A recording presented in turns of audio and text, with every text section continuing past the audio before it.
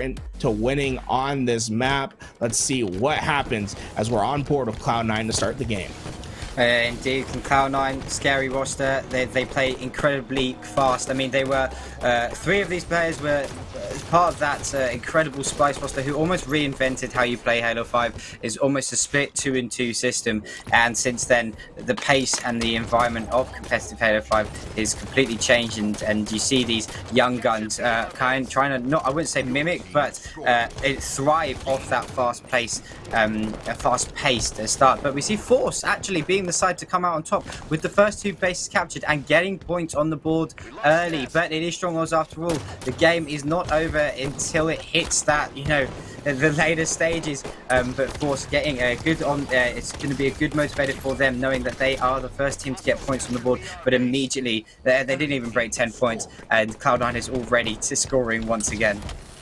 Yeah, look at Bards. He's flying in. He's not going to let this one shot live for long. Eco eventually taken down, but Stellar wins the fight over at Engine 1. But what that's done, Force has forced uh, Cloud9 away from that nest side, but they immediately opt to go take on Yellow Corner. And this is an interesting strategy from Force, right? They're he heavily fighting at Yellow Corner, which is going to leave them exposed to a flank. And that's exactly what Stellar does. One of the smartest players in the game. He takes advantage, finds a couple kills, but and Bards, they got what they wanted. They broke through the tower side and they're capturing BR base, but they left the carbine spawn open and it's just going to be temporary points because the basement going back in favor of Cloud9. Once again, man, they're just they're quick on the rotations. Rami gets taken out, three go down. They're ready to start capping out on Nest and to force the basement splits. We'll see what happens as two players do get that carbine spawn, but Bards immediately hit shots. The nades are coming through, they're hitting. Nest is getting secured. Can he get it all? the way he does.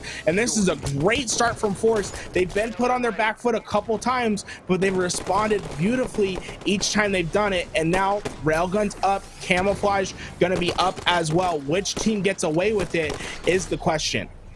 Yeah, and uh, what we see Eco here doing, controlling that uh, top tower is so crucial in getting hold of the camo and the railgun. And and by uh, by Eco controlling that top tower, they have been able to get control of both. Uh, you get lines of sight uh, onto both, and it makes it very difficult for, e, uh, the opposition to break through. But we see Stellar doing a fantastic job of being a distraction, and Penguin coming in and getting three kills, I believe, to take down Force. And now this is dangerous for the side of Force. A, a, potential momentary triple cap is on the, the cards here for Cloud9 as they have now get regained control of the nest and basement and are scoring once again. But it is still very close. 26 all. Uh, you know, Force doing a good job. They're hanging with the Cloud9 sides. They haven't let Cloud9 just run away with this, which is really good to see.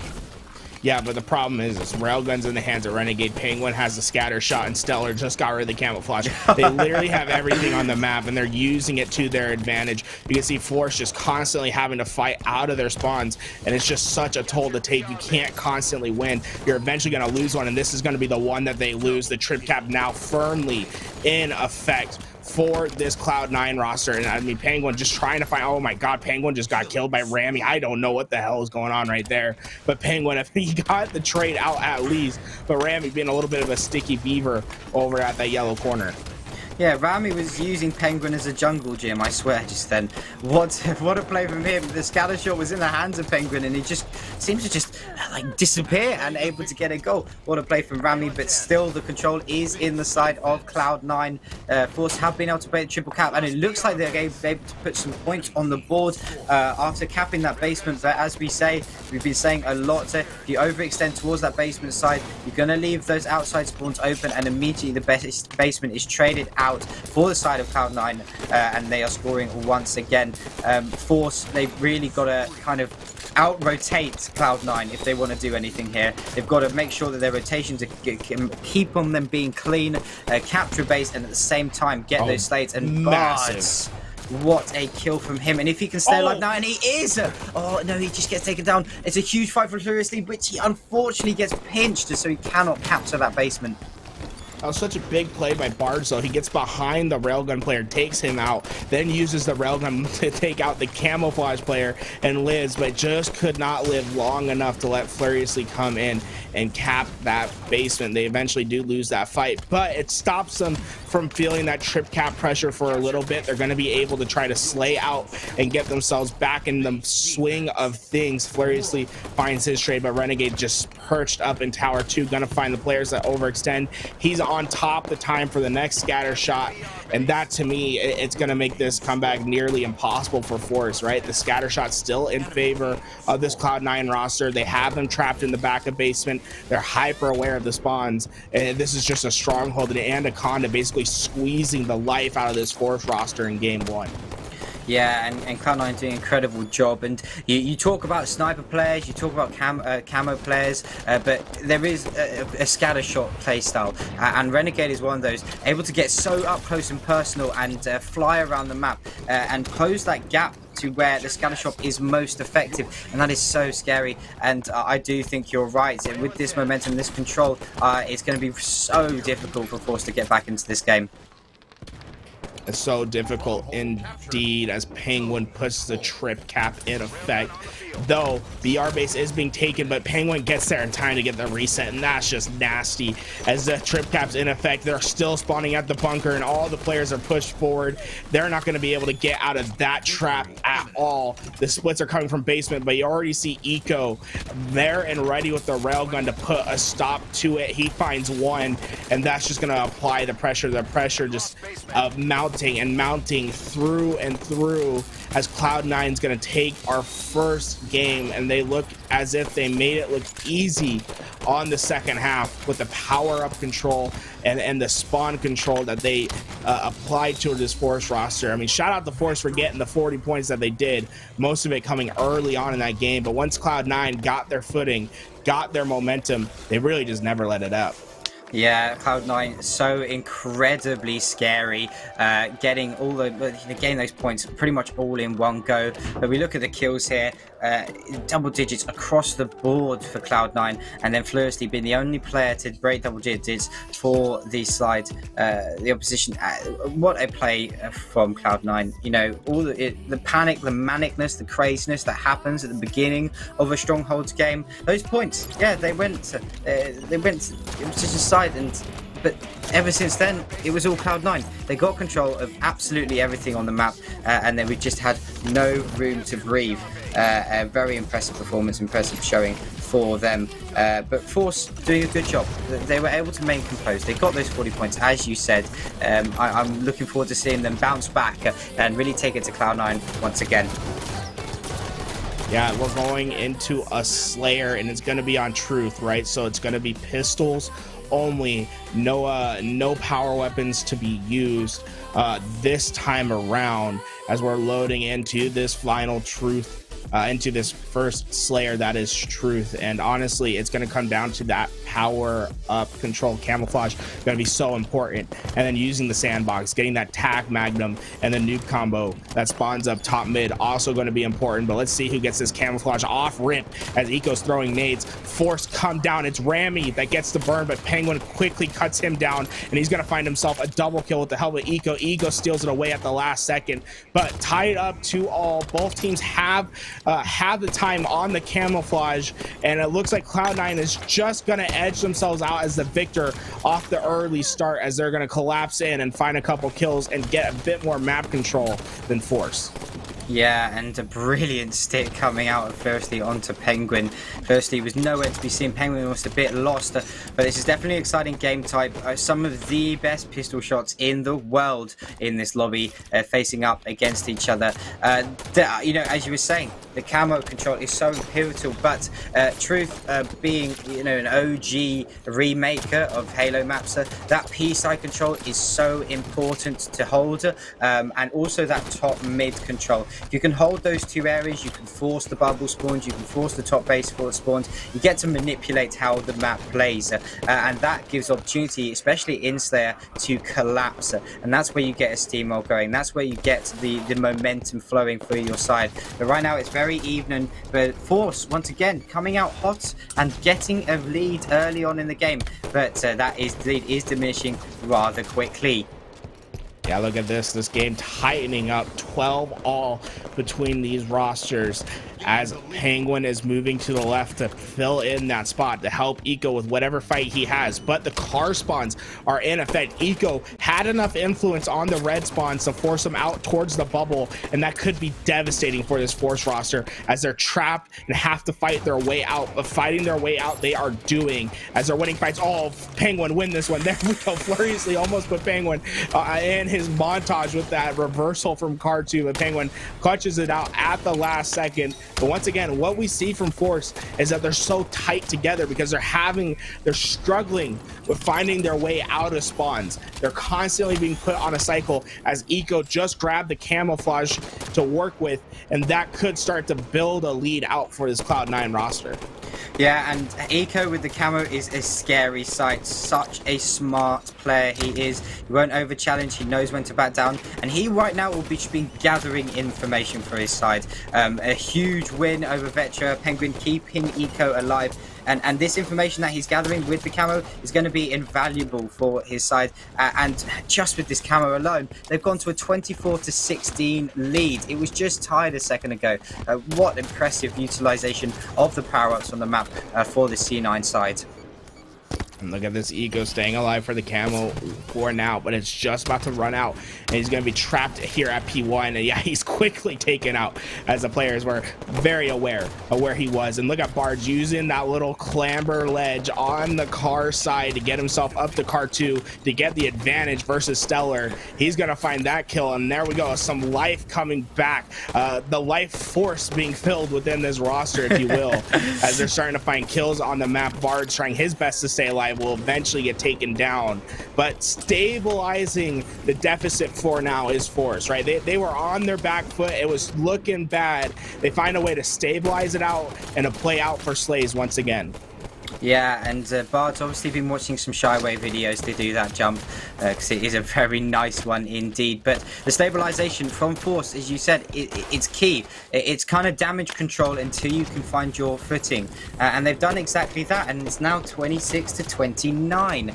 And so these games, they're going to be fairly close up until the 30 kill marker. Uh, but uh, Force has stopped C9 from running away from it. And right now, it's about let's get some map control. Let's get that top mid. Let's get that P side. Let's be aware of the next camera which is up very, very soon. And let's utilize it to gain a lead as we head towards the 30 kill marker. But Furiously going down so early, shut down by Renegade. And that's an opening for C9. And they will be collapsing now to get these kills. But as I say that, two players from Force doing a brilliant job of rotating through the car set into Redza to try and force their teammates to spawn there. But uh, I don't know if that was happening. But wow, what a, what a set of kills. A brilliant job from Force for staying alive and doing that rotation right? Th those nades coming out were so crucial because if they didn't get those kills with nades, they would have been two down, no kills. There was no shot that they were going to win that fight versus Cloud9 if they didn't get those nades to be well placed and they killed them on their way in. But they do that. But once again, it comes out and where Force are trapped in their base and they have to slay their way out. And they've done a good enough job of it as as of now to keep themselves close in this game. But the longer it happens the more likely the more susceptible you are to see put on a rotation. And the rotation it seems as if it was just starting but once again force stabilize their way out. They find three picks. Now it's up to them to expand across the map and to find players in unsuspecting locations as eco can't quite finish that kill at p3 and is now in trouble himself at p2 he needs to live live he cannot as furiously gets the cross map shots I mean, Force are doing an absolutely incredible job uh, of shutting down C9's collapses um, by staying alive. And this is why this game is so close. There were so many opportunities for C9 to completely run away.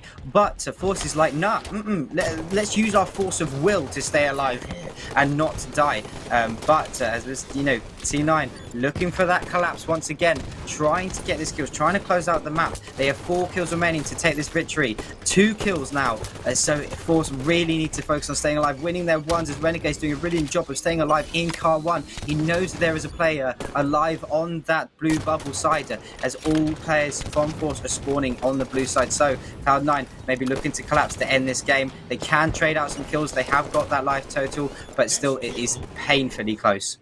Yeah, and look at that. Two players go down on the side of Cloud9. Renegade playing that car one spot. And you know, normally you don't you don't think of that as a power position, but car one can be so devastating on a true Slayer. But Force have done it. They've gotten themselves in a position where if they get four players down and they somehow live, they'll be able to make the comeback happen. But as I say it, the nades come through.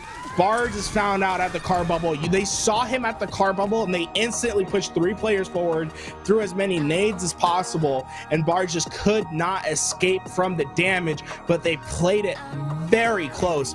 50 to 47, a closer stat line than I think most expected this time around. But now they're on, they're down 2-0. This is their last shot. There, there's no more. Uh, there's no more grace period. If you're gonna make the win happen, the reverse sweep happen, it starts with this next game.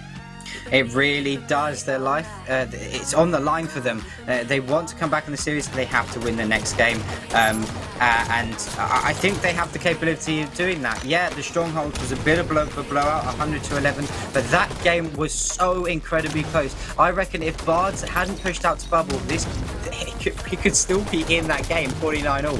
Um, and so, incredible job from um, the side of Force. Uh, and I, I, think the most impressive thing uh, from that game for this Force side was that damage control uh, and that, you know, stabilization, as you called it, not to get taken out and not to get consistently collapsed on. We saw three or four times in which Cloud9 were pushing for that collapse, but uh, Force were able just to stabilize, stay alive, get some kills, and push out. But in the end of it, Cloud9 were just too strong and won 50-47. Just a three kill difference though. Uh, oddball fissure. I mean, how, how how much credit should we give Force as it goes up against Cloud9 in oddball? Well, I guess the question is how much credit do we give Cloud9? I, their mm, their true. oddball record is not the greatest. That's definitely where their struggles have been seen is is on the oddball game type. So if Force is going to steal away a game and try to get themselves some momentum, it's on an oddball game because it is clearly the weakest link when it comes to uh, when it comes to Cloud9's gameplay. Indeed, indeed, it is. So, uh, Oddball is up next. Uh, uh, Cloud9 not having the, the strongest showing on Oddball. Force will be looking to take a victory against them uh, here now. But Eco going so fast on that quick flank. And he's going to find two kills really fast uh, against uh, Rami and Furiously. And that's immediately a, a, fresh four dead for the side of Cloud9. And they come away with the overshield. Uh, so this setup is going to be crucial for them. Renegade is going to be roaming a lot, looking for these early kills, putting damage down onto as many players as possible it's going to make it very difficult to break this setup. But, um, but Force doing a good job trying to collapse. And uh, right now they have the opportunity. The ball is down. And a back smack coming out onto Renegade from Bud, mitigating that OS. A huge opportunity for Force to shut down the point scoring for the side of Cloud9. Uh, what a back smack from him. Yeah, look at that. And he immediately pushes forward and gets the kill on Penguin as well. He's really just being the uh, being that slayer that they need at the moment to give them some momentum, to give them some room to work with, because that's what Cloud9 does so well. They suffocate you in that back base with the pressure that they apply, with the high flyers that they have in Renegade, Stellar, and Eco. But the ball is played, four go down. Good enough job by Force to get it off the map, but when you go four down, there's no one to watch anyone on the on the reset. So that's going to be Eco who grabs that ball and immediately pushes it back to the base. And once again, that, that pressure that we saw Cloud9 apply, that's what Force needs to do right back to them. They have to get in the base and force these players down as Rami finds a double kill, and that could be exactly what triple. need. He gets the triple kill and somehow stays alive. He instantly breaks the setup of Cloud9 by himself. What a triple from Rami. Uh, doing it all. He is that Slayer. He's that OG player we know and love. And he got that triple to immediately break the setup. And now Force have an opportunity to score again. But as I say that, Cloud9 were able to respond immediately with some kills for themselves and have the ball control. But uh, the pivotal moment here is the OS. It is going to be popping soon. If Force can get hold of this, it's going to uh, allow for an easy, an easier break uh, of a C9 setup. It doesn't look like many C9 players are dropping for it. Only Renegade is going for it right now. Um, and they do have time in it, but Bard's able to come away with this overshield. Now they got to push, push, push, push, um, and get some kills on the board and break the C9 setup. Don't let them catch up. Uh, don't let them take any more lead even uh, of the points. The ball was played, and Bards is going to use that OS to tank shots. Uh, oh, quick turn so quickly, but he is able to get the ball back towards his teammates and uh, able to hold his setup now. Right? They have the setup, but every time we see them with the setup, the kills have been lacking. Can they come out on top in the kill column this time around as trades are coming through and it's basically dead ball at this point. Furiously needs to get to a play spot. Rami's been made one shot. The players from Cloud9 are pushing in. He needs to get to a play position and just hold it there until his team can uh, recover. He does just that. He gets the ball off, but cannot live for the time being. Vetra comes in. He has a one-on-one -on -one versus Penguin. The shots are not going in his favor, and there we go. Cloud9 collapse back in. And every time we think Force has a potential to get a hold for an extended period of time, it seems as if Cloud9 instantly breaks those setups. But where Cloud9's weakness really is, is when it comes to that power-up control, when it comes to realizing the correct time to rotate and to get get that ball off. They have this tendency to hold on for a little bit too long and to let other teams slay their way back into the game. Yeah, and OS is placed so interestingly on this map. It's not like Truth, uh, not like Regret even, when you can where you can almost fly in and steal the overshielder uh, from bottom mid.